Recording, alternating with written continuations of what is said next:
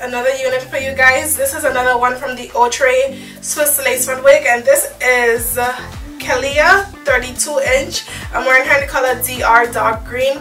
And guys, I reviewed a 32 inch yesterday. I think it was the Amelia 32 inch and you guys loved it. I, I don't know, this is really pretty to me.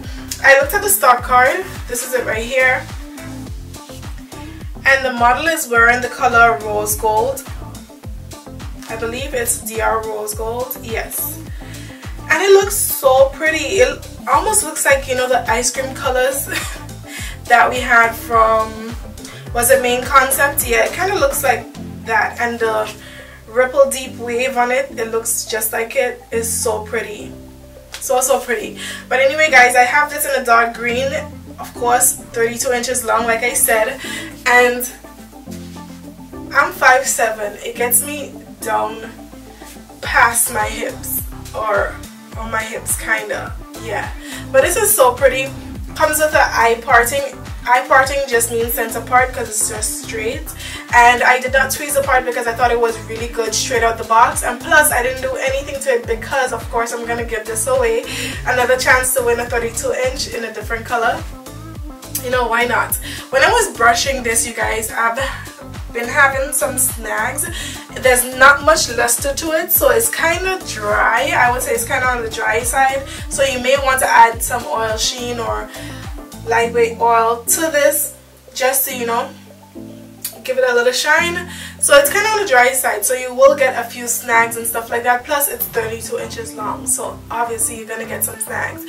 But in terms of like um, shedding and stuff I got a little bit it wasn't anything too excessive but I just got like a few strands from it. It's big head friendly. You get two combs up front one at the back and the adjustable straps. It's a basic cap construction so there's not much to it but like I said it's big head friendly so you can definitely fit a larger head size. It's heat safe up to 400 degrees. You can add heat to it but it has a natural yaki hair texture.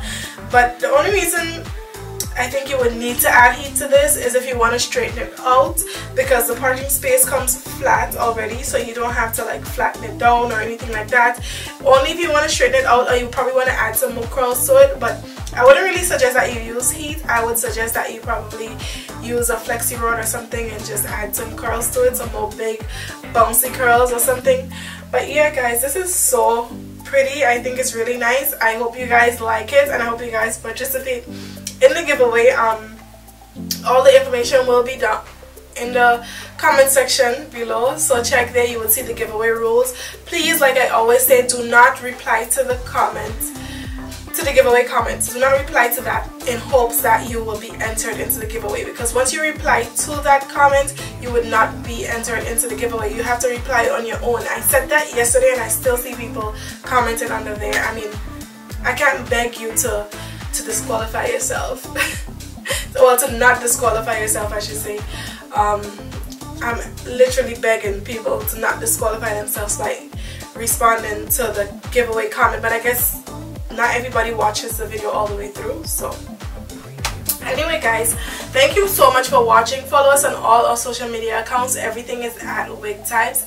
And yeah i'll see you really soon. The link to this unit will be in the comments in the description box down below. So if you want to purchase it in a different color the link will be in the description in the description box. So you can go ahead and go purchase it alright? But anyway guys thanks a lot for watching and i'll see you soon. Bye bye